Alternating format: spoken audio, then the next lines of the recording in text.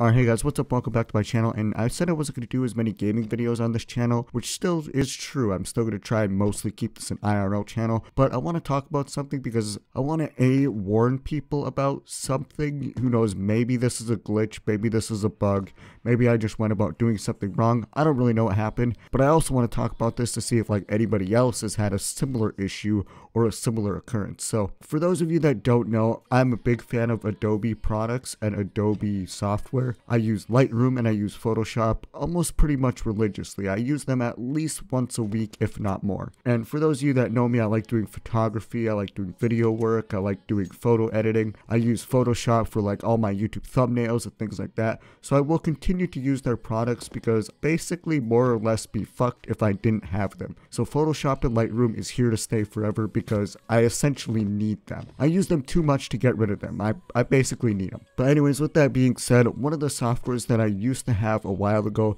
is called Adobe Premiere Pro. Now, for those of you that might not know what that is, that is the video editing software that Adobe has. It's really, really high tech, really, really advanced software, which is nothing wrong with that because doing crazy cool editing shit is awesome, but it's a little bit overkill for the type of video work that I do and the stuff that I need. So, about a month and a half ago, I decided to get rid of it because I didn't use it anymore, didn't want to use it anymore, was never going to use it ever again. I use Sony Vegas Pro in case you're wondering. It's much more user friendly, it's much faster, it's much easier to do the type of video work that I do. So I use Sony Vegas. So about a month and a half ago, I decided to cancel my Adobe Premiere Pro CC subscription because like I said, I wasn't going to use it anymore. So I canceled it. I got the email confirmation saying that it canceled and I will no longer be billed for further payments and plans and whatnot. So fast forward to October 12th, I get a notification on my phone that pops up from PayPal because that's what I use for all my Adobe stuff. I use PayPal. So I get a notification pops up on my phone from PayPal says you've been charged with Adobe Premiere Pro plan, blah blah blah blah blah, whatever. And I was like, why is this happening? I canceled this about a month and a half ago, and it said that it will no longer be billing me for further payments and plans. It said it was done. That's it.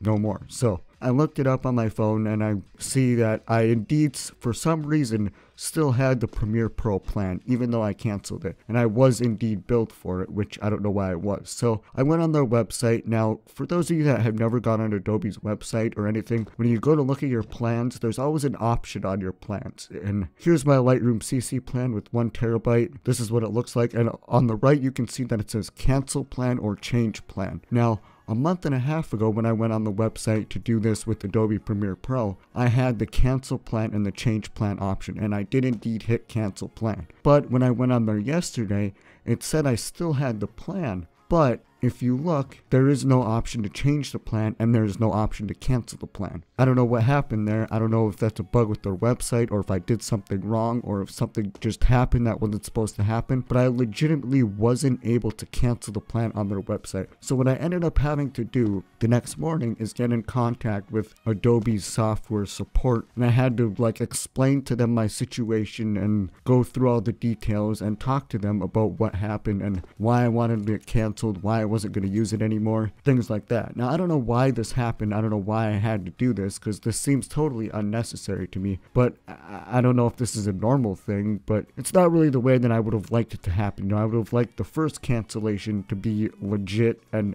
to have worked and to not have been billed. So I did dispute the billing claim on PayPal. So I don't know whether I'm going to get my money back or not. I mean, I really don't care, I guess, but at the same time, I kind of do, just for the sheer fact that I wasn't supposed to be billed for it anyway. But anyways, when I was going through the whole tech support thing, talking to Adobe, they tried to like get me to stay on with them and like, is there anything we can offer you to keep you on our plan? Is there anything we could do to like add it? They tried like giving me like three months free of all the programs and then like half off on like some other plan for all the programs and th they tried essentially keeping me interested. I was like, no, I don't want any of those. I'm not interested. I just want to cancel this plan. Just be done with it. So I go on my account now. It does say it is indeed canceled. Nowhere on their website or my account page does it say that I still have the Adobe Premiere plan. So I have no reason as of now to believe that any further payments for Premiere Pro should come out of my account. I don't think that it'll happen anymore. If it does, I'll have to get in contact with Adobe again and further explain the situation that's going on. But yeah, let me know if you guys have had any run-ins with Adobe or if any of you have had a similar situation like this.